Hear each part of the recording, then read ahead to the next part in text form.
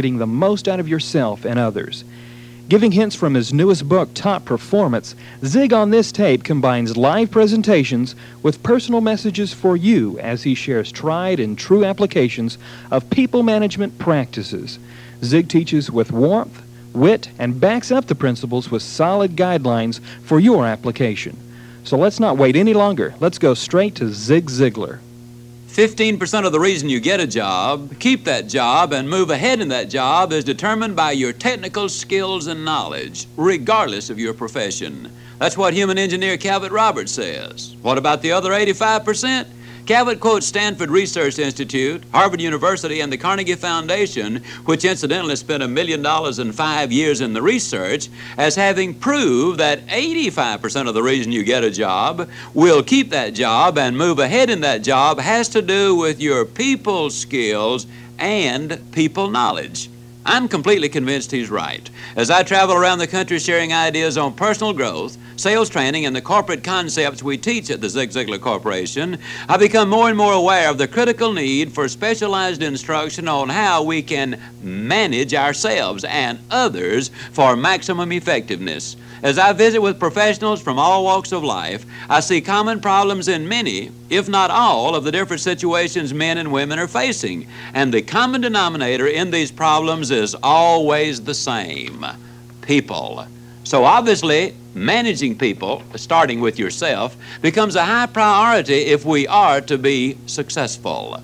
According to Megatrends author John Naisbitt, for the reinvented Information Age Corporation of 1985 and beyond, the challenge is retraining managers, not retraining workers. With this in mind, the ultimate goal of top performance is to develop excellence in managers and to provide management with teaching procedures and inspiration to effectively develop and utilize team members. The foundation for developing yourself and others is wrapped up in this principle. You can have everything in life you want if you will just help enough other people get what they want. I've used this statement for nearly 30 years as a foundational truth. And never is the concept more accurate than when managing yourself and others. However, it is important for you to understand that I'm talking about a principle and not a tactic.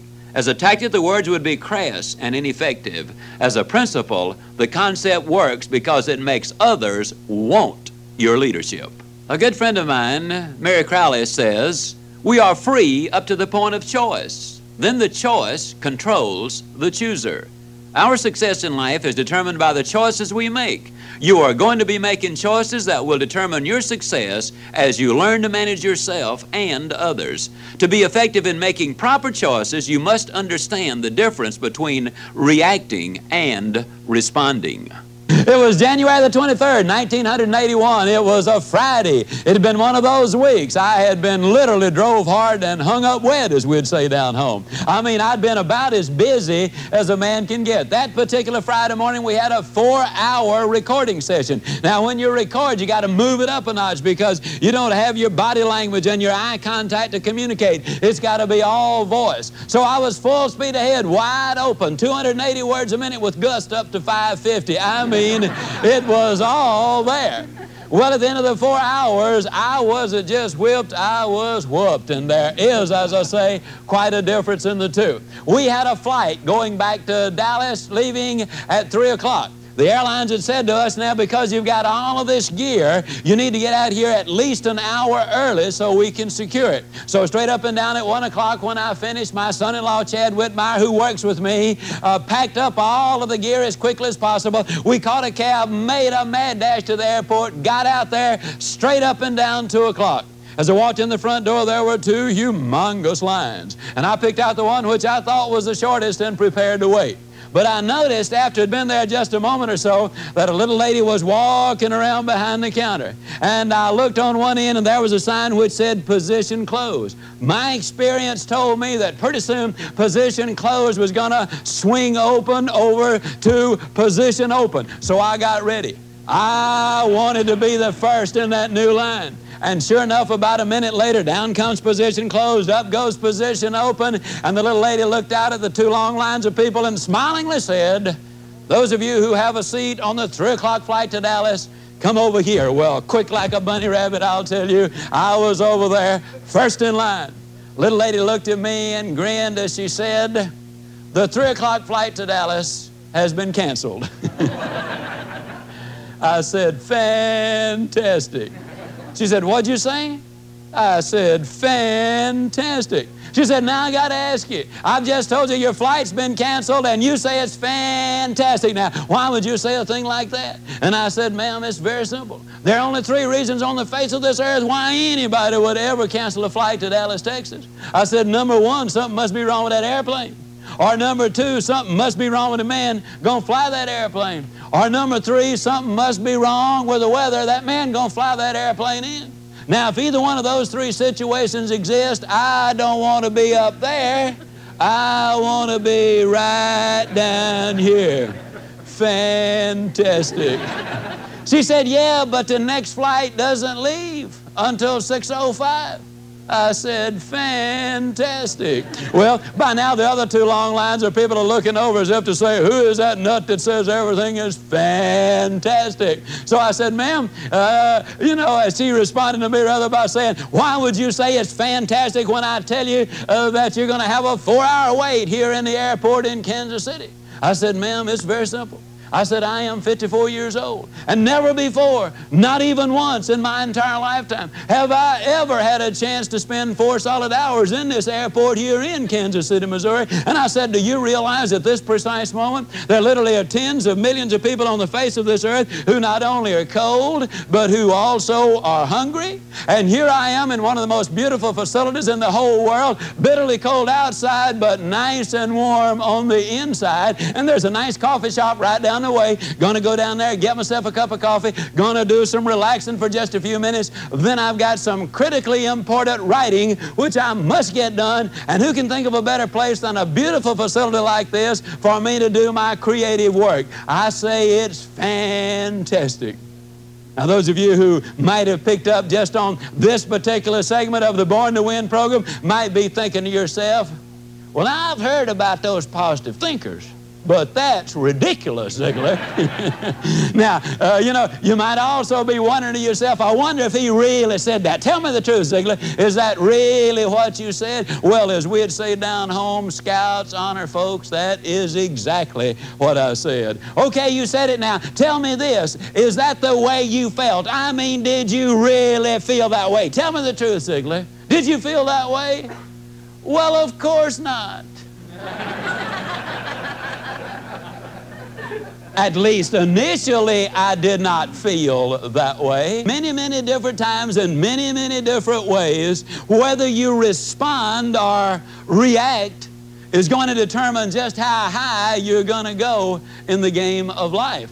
You see, to respond is positive, to react is negative. I chose to respond for very one or two or three very simple reasons. You see, I don't have ulcers. I don't want ulcers. I don't need ulcers. I honestly don't think I will ever have ulcers because I respond instead of react. You see, you go to the doctor and you're sick and he gives you a prescription and says, see me tomorrow. And if you go back the next day and he begins to shake his head and say, uh-oh, your body is reacting to the medicine, then everybody gets upset. But if he looks at you and says, oh boy, your body is responding to this medicine, then you're really going to get excited because you know it's doing you some good.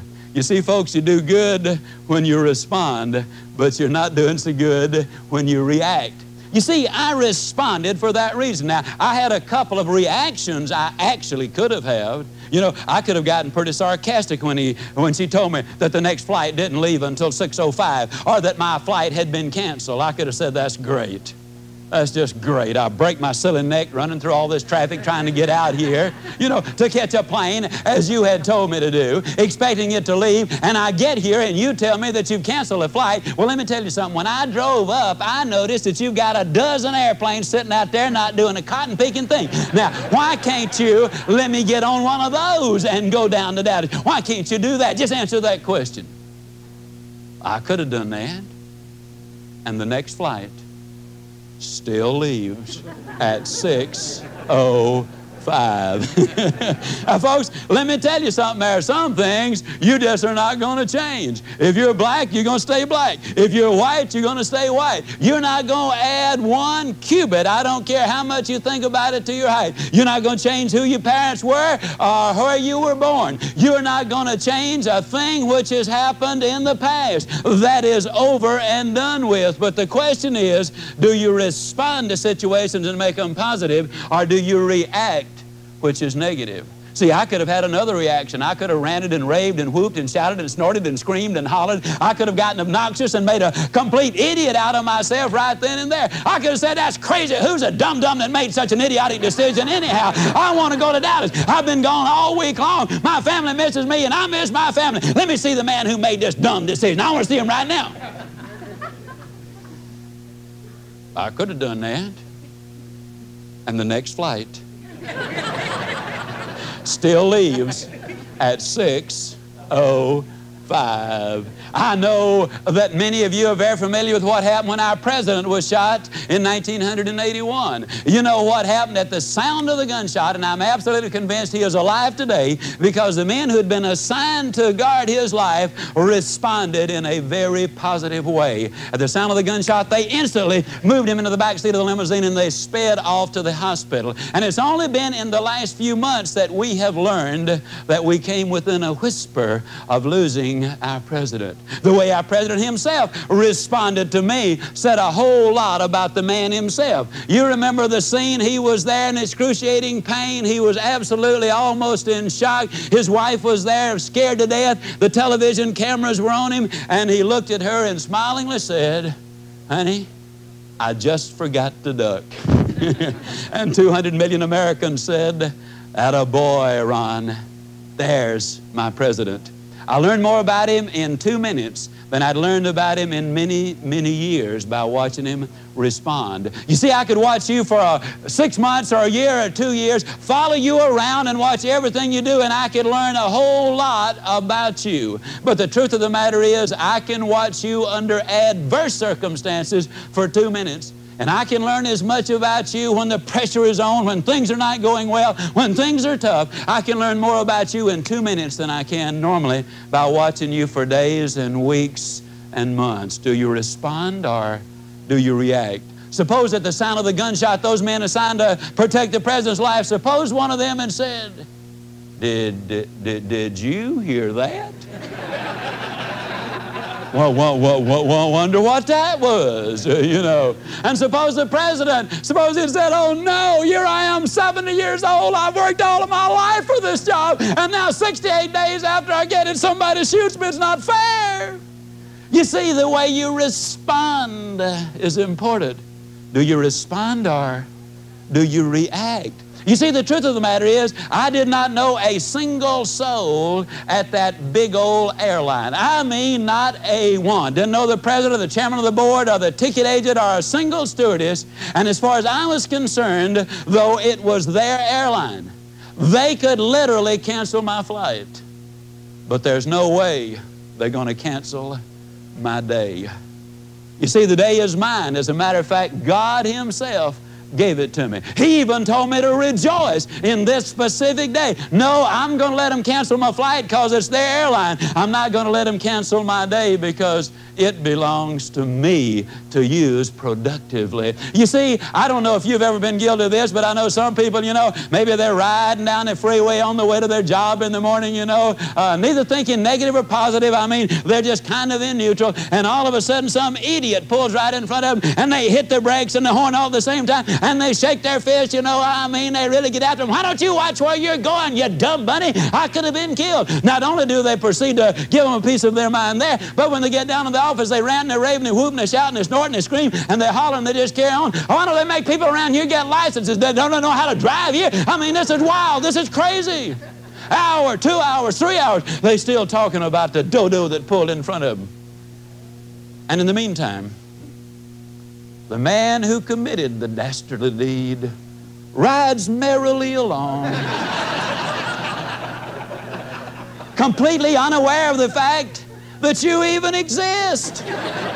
But He is in complete control of your life, telling you how to think and how to act and how to feel, affecting your uh, attitude with your fellow employees and affecting your productivity tremendously. And you see, folks, that's just not a good idea. That's one of the reasons we're going to get into a formula here in a few minutes about what you can do to build an attitude formula or foundation so solidly uh, that when somebody does rain on your parade, when things don't go exactly like you want them to go, your attitude is still going to be good. Now, we've got lots to overcome because, you know, this started long time ago. It really started in the Garden of Eden. You remember the scene? God had given Adam and Eve, I mean, absolutely everything, paradise. He said, now you can have it all except there's one tree that has some fruit on it. You can't eat it. Well, you know the story. They ate the fruit. Then the Lord came walking in the garden that evening, and as I said earlier, this conversation is not going to be verbatim. But the Lord came walking in the garden, you know, and He said, Adam, where are you? Over here, Lord. Adam, did you eat that fruit? Simple question. He doesn't want a theological answer, just wants yes or no. But you know what Adam said? He said, Lord, let me tell you about that woman.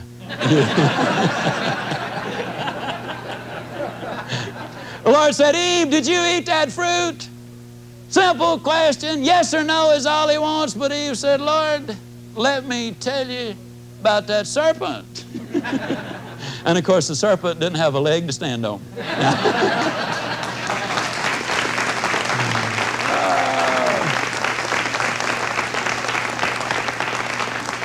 Now, you know, what I'm going to say to you is that you don't have a leg to stand on either. When you blame other things and other people for your difficulty, want to simply say to you uh, that you can learn to uh, respond instead of reacting. To be a top performer, you must make the proper choices. Now, if you've never had instructions on how to respond positively on what top performers do to become top performers, then you have a built in excuse. But wait a minute, I'm not going to let you hang your hat on that excuse. Together, we're going to look at how, what, who, why, when, and where to make the proper choices so that you can get the most out of yourself and others. Now, here is a formula for success. I think you will agree that the responsibility of your organization, whether it is you and one other person, or you and a hundred other people, is to function together for a common cause or purpose. Unquestionably, the 1984 Olympics held in Los Angeles were a great triumph. One of the primary reasons was Peter Ueberroth, the man in charge, the manager. Mr. Ueberroth was successful, according to many of those who worked closely with him, because he made everyone believe they were involved in a cause that was bigger than the individual. The way he involved everyone in his and their cause was by using excellent people skills. He developed a team spirit and had everyone working together for the same end results. You can do the same thing with smaller or larger units by understanding a simple formula for success. Much has been written and said about team efforts. It's important for the family, for the athletic team, and for the workplace. Recently, a friend of mine was discussing a basketball team for which his son plays. The team was functioning quite well early in the season. There were no superstars on board, but they had learned considerable discipline and a series of plays which were enabling them to beat teams which actually had greater individual talent. They had a good record. Then two guys who had been ineligible regained their eligibility and joined the team at the change of semesters. As individuals, these two guys were bigger, stronger, faster, and they were better shooters. But unfortunately, they did not have the discipline, nor did they know the plays. The net result was though they had the talent, they actually were liabilities instead of assets to the team. Important point. They were liabilities because the coach did not have the courage to keep them on the bench until they learned the plays and developed the discipline to function as team members instead of individual talents. That coach, manager if you will, let himself his team, his supporters, and the two individuals down. As managers, we frequently have similar situations arise in which an individual might have great talent and ability, but because of certain personality traits, annoying habits, or refusal to function as part of the team, they became liabilities instead of assets. The most important function a manager has is to bring the individuals together as a team. In other words, to make them gel. In athletics, we hear coaches talk about team spirit. They sell their units on the importance of playing together for a common cause winning. One of the catchwords that coaches use to describe unity is gel. They will say that the offense is just beginning to gel, or to be successful, the defense must gel. Of course, they're talking about players playing together and not as individuals, putting the objectives of the unit ahead of personal gain, so that when the unit wins, there will be great gain for each member of the team. Some reporters have spelled gel with a J because of the television commercials about Jell-O, but actually gel means to congeal or come together. For our purposes, let's take the first three letters of gelatin and use them as an acrostic to remind us how to be experts in the business of managing people. The G in our gel formula stands for good finders. Those who are experts in top performance learn to look for the good in each person they manage. Andrew Carnegie said, No man can become rich without himself enriching others. He went on to live this philosophy as evidenced by the 43 millionaires he had working for him. A reporter interviewing Mr. Carnegie asked how he was able to hire that many millionaires. Mr. Carnegie patiently explained that the men were not millionaires when they came to work for him, but had become millionaires by working for him. When the reporter pursued the line of questioning as to how he was able to develop these men to the point they were worth that much money, Mr. Carnegie said, When you work with people, it's a lot like mining for gold. When you mine for gold, you must literally move tons of dirt to find a single ounce of gold. However, you do not look for the dirt, you look for the gold. It works the same way when you want to develop people to their full potential. You must look for the gold, that is the good, and when you find it, you nurture it and bring it to fruition. Another wise man expressed it this way The greatest good we can do for others is not to share our riches with them, but to reveal theirs to them. The next illustration, which comes from my childhood, tells about an effective method of dealing with your people when they don't do their jobs as effectively or professionally as they can and should. As you listen to this, I encourage you to remember some wise words from Dr. Norman Vincent Peale. The trouble with most of us is that we would rather be ruined by praise than saved by criticism. My mother was a great teacher. She always showed us exactly how to do things. There's two things we were always certain of. Number one, we knew exactly what she expected from us, and that was our best. And we also knew that she was going to inspect to make certain she got what she expected. I never will forget that first day in the garden on my first solo assignment. Had to hoe two rows of beans, and they were three and a half miles long. Well, they looked like they were three and a half miles long. Maybe just three, but when you're eight years old, they look like they were three and a half miles long. My mama showed me exactly how to hoe the beans, and she said to me, Now, son, when you get through, call me so I can look them over. Well, I finally got through, and I said, Mama, I'm through. Now, my mama was a little bitty lady. She only weighed about 90 pounds. She was about five feet tall. At that time, she was slightly stooped. She always wore a cloth sunbonnet to protect her face from that hot Mississippi sun. And when my mama wasn't happy with anything, you could tell it as far away as you could see her. She'd always fold her hands behind her back. She'd always duck her head. She'd always cock it slightly to the right, and she'd always give it that little left to right motion that was saying, uh uh. Well, when my mama started that left to right motion, I said, What's the matter, mama? And my mama, and she said, Son, looks like you're going to have to lick this calf over. Now, how many of you folks in the audience do not know what that means? Good old Mississippi term. Okay, got some underprivileged people here who don't know what that means. What that means is, son, this is not satisfactory. You're going to have to do it again, is what she was really saying. But when Mama says you're going to have to lick this calf over, I looked at her and I kind of grinned. I said, Mama, I hadn't been messing with the calf. I've been hoeing these beans. Mama kind of got tickled. She laughed and she said, Well, son, what I mean is this. For most boys, this would be perfectly all right. But you're not most boys. You're my son. And my son can do better than this. One of the great teaching communication tools that I've ever heard used was that.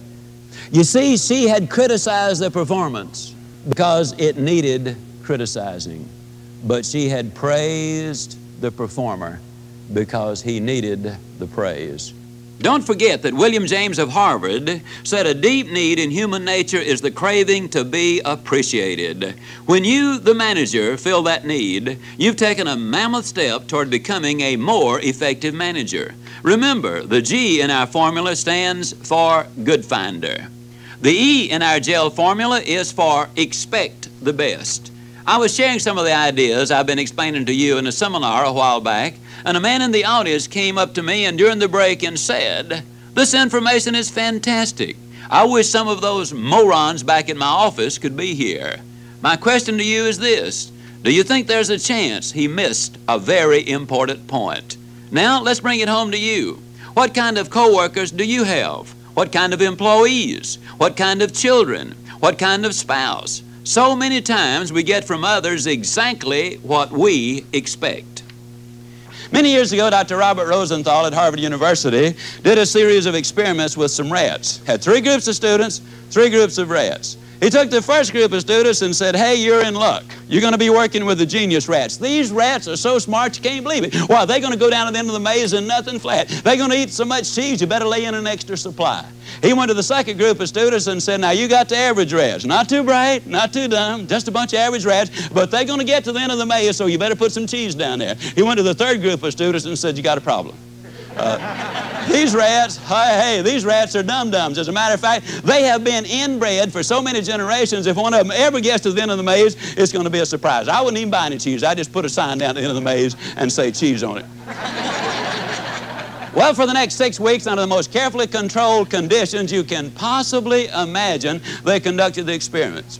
And at the end of the six weeks, the genius rats, I mean, they had acted like genius rats. They went down to the end of the maze and nothing flat. I mean, they gained weight eating all that cheese. The average rats, well, what you expect from a bunch of average rats? Well, that's the way they performed. But those idiot rats, oh, was that ever said? Oh, every once in a while, one of them would get down to the end of the maze, they'd stumble, stutter, stagger, and fall, you know. But you knew it was an accident when one of them did get down to the end of the maze. But here's an interesting thing there were no genius rats, there were no idiot rats.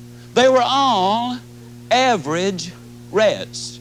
As a matter of fact, they were out of the same litter. Now, let me ask you a question. What kind of kids have you got?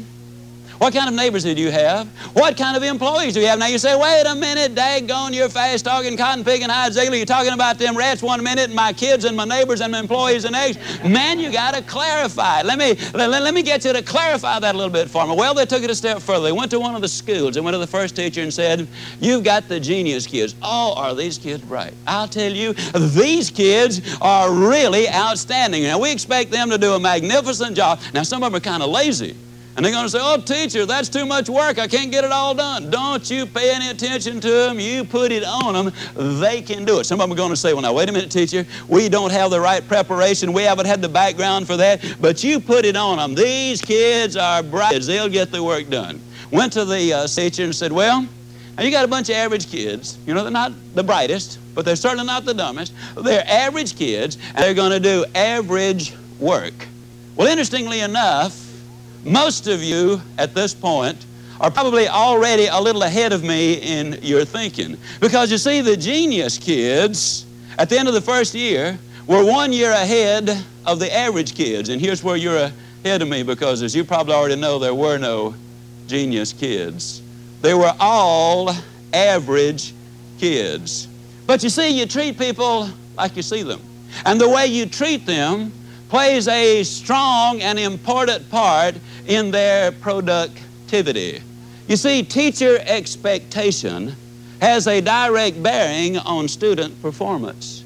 Employer expectation has a direct bearing on employee performance. I'll give you another example. About three and a half years ago, my secretary, Laura Downing, received a phone call from a lady from Birmingham, Alabama.